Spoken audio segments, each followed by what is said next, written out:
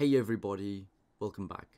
In today's video, I want to have a look at the Ethereum Bitcoin pair and also the Bitcoin dominance. Now, I think these two charts are sort of vital together.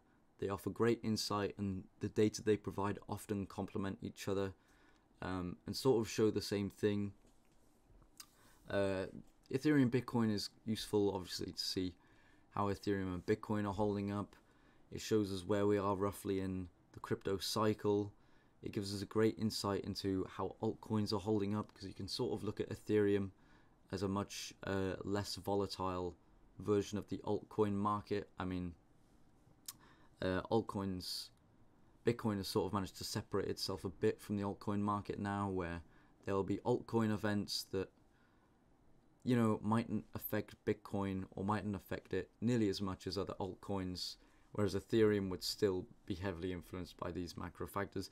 And there are events that just seem to boost Bitcoin uh, and not the rest of the altcoin market, or not as much as Ethereum might get boosted or moved by this Bitcoin only sort of event. So it's a good way of looking at a calmer version of the altcoin market, let's say, less volatile. Um, and of course, uh, the dominance is dead useful to see sort of where we are in the cycle because we know that Bitcoin's dominance must rise and fall during certain parts of the cycle, and where you know key levels must be sort of reached or uh, broken or uh, dropped down to.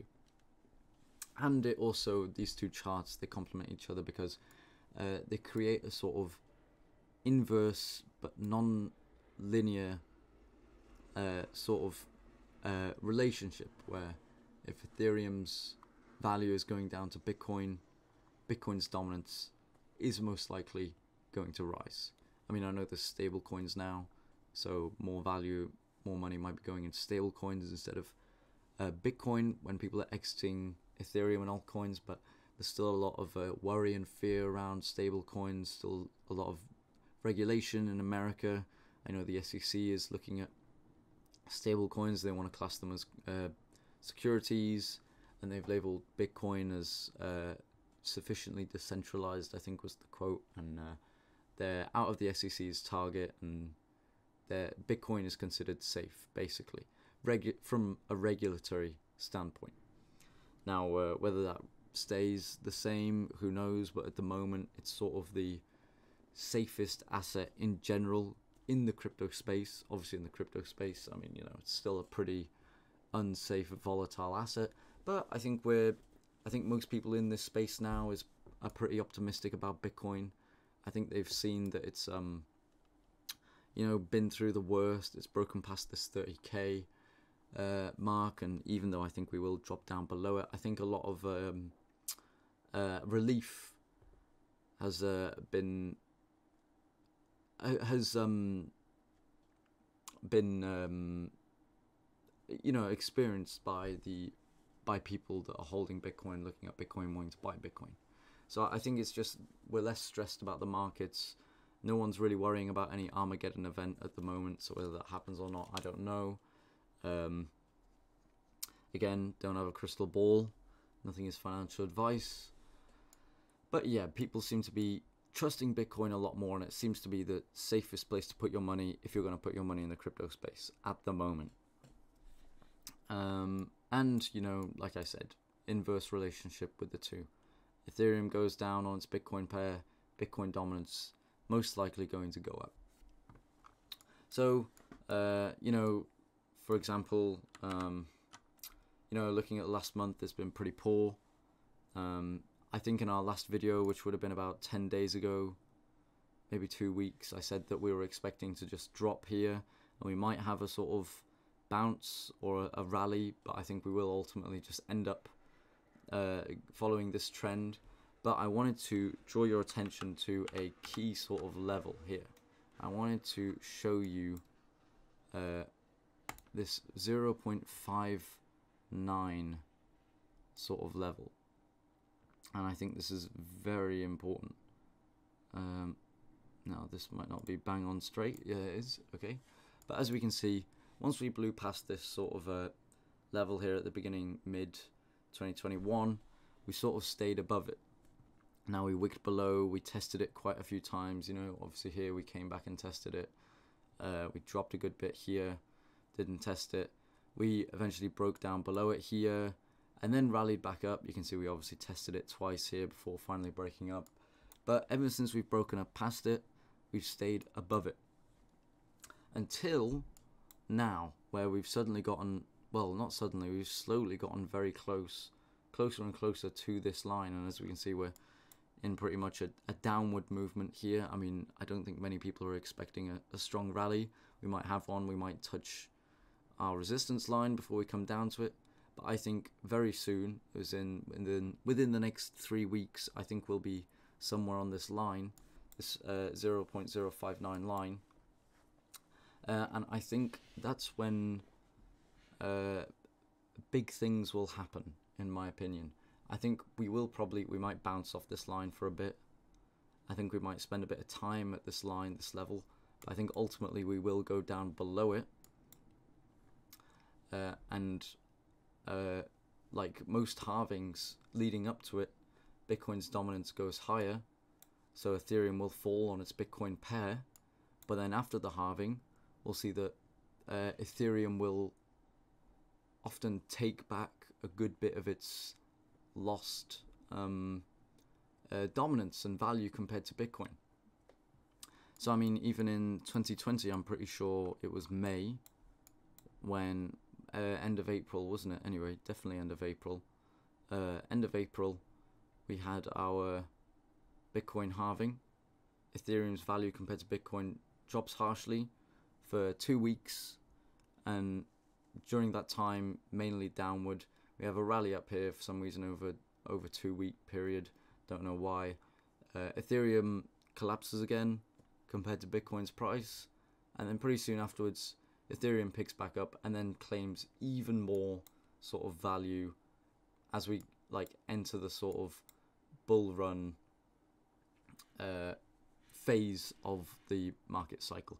Now, of course, it did actually um, uh, come back down to these levels a bit over here. So, you know, it's, it's always sort of going through the same range until eventually it just Ethereum blew up and brought us to these new highs over here, which I think we will, we won't deviate too far away from. I mean, uh, this is obviously from, you know, the bear, the bull run here sort of brought us up to these high levels and we haven't left since.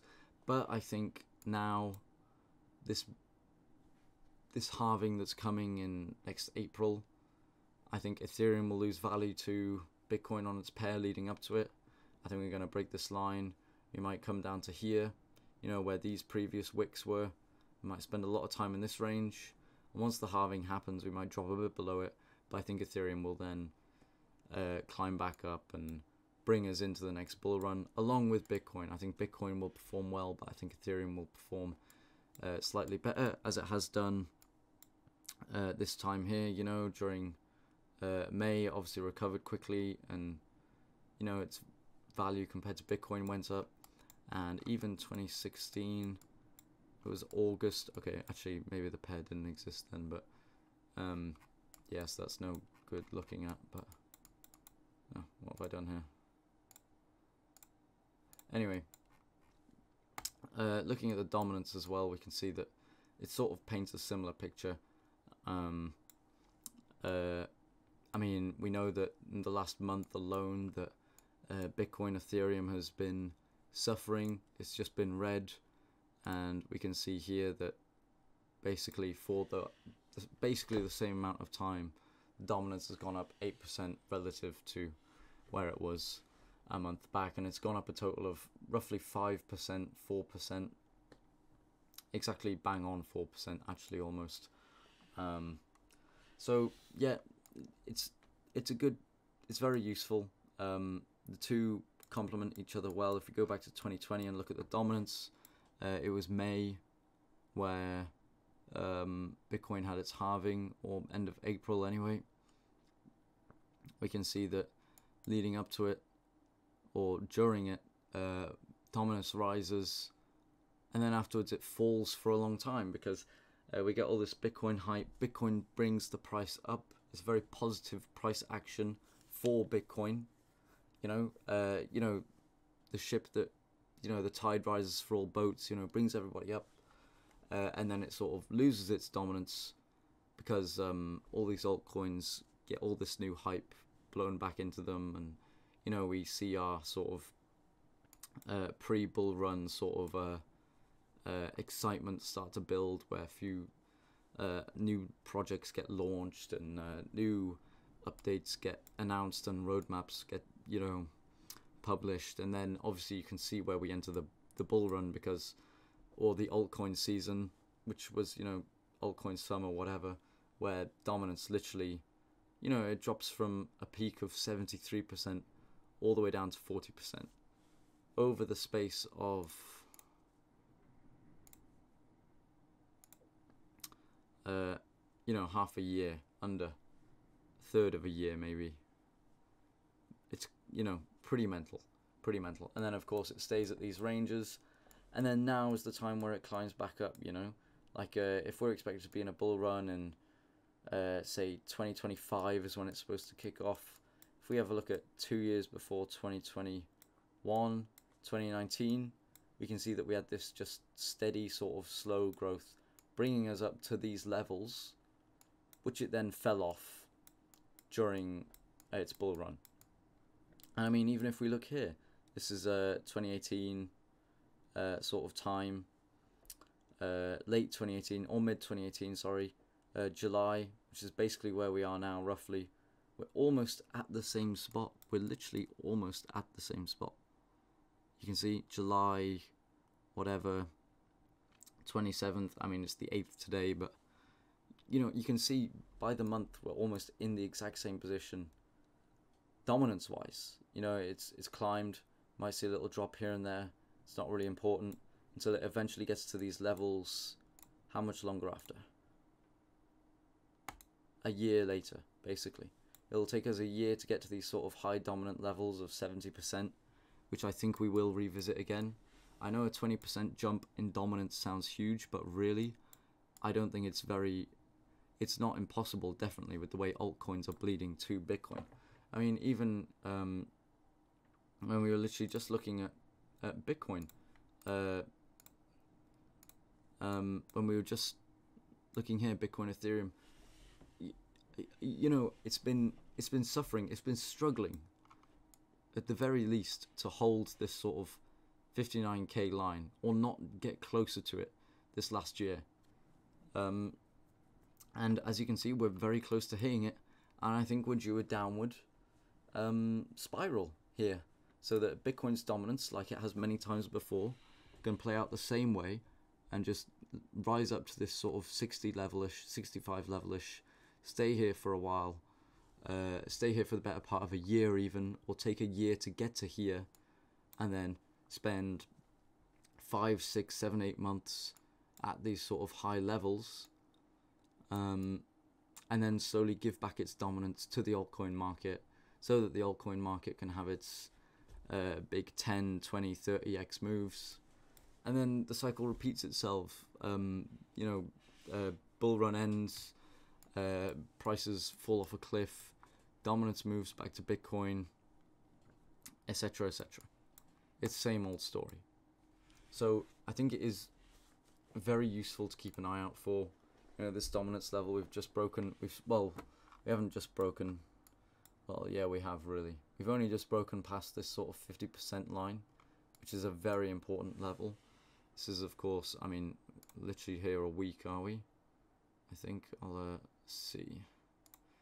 Yeah, so we've been above um, for 20 days, give or take, uh, which is is decent, you know. Um, it's definitely nothing surefire, but I think by the way you can see this is climbing. I, I think we're, we're staying here. And I don't think it's our last move up either. I think we're due a lot of Bitcoin dominance up. And I think as this line grows, lots of smart investors will see this and move their money into Bitcoin because it's the safest bet. And of course, that's like a cascading effect as more people move their money into Bitcoin, more people see this, take their own money and put it into Bitcoin. Uh, it's just, yeah, it's literally there's not too much else to say really. I'm trying to think if I've forgotten anything, but really, it's painting the same picture. Um, we had a look at 2020, didn't we? Yeah. Uh, it's we're just paying for everything but Bitcoin for the next almost year, really. I mean, at the halving itself, Bitcoin doesn't often perform as well as others because it's this sort of short-term worry because suddenly uh, there's less Bitcoin and miners aren't rewarded as much. So, uh, you know, a lot of Bitcoin is sold. So dominance does drop for Bitcoin in the short term after the mining. Uh, and you know that's yeah that's to be expected. So short term after the halving, there's pain, but um, after that, it's sort of a slow, steady climb from Bitcoin's dominance from Bitcoin, uh, and uh, but Ethereum also tends to go up with it. It's all, like I said, it brings everything up with it. Even if we just have a look since uh, 2021 here, we compare the two. Uh, as Ethereum's value went up, Bitcoin's dominance fell. We had this sort of, uh, you know, up, down, up, down, up, down. You can see if we can see anything similar. This is obviously our drop here. The uh, Bitcoin's dominance obviously rose here as Ethereum's price fell to Bitcoin. And then ever since we've had this strong climb from Bitcoin's dominance where Ethereum has held much better. And we can see that if Ethereum has held this well compared to the climb in Bitcoin's dominance, it's come from the altcoin market. This money that's lifting BTC's dominance has come from the altcoin market. It can't have come from anywhere else.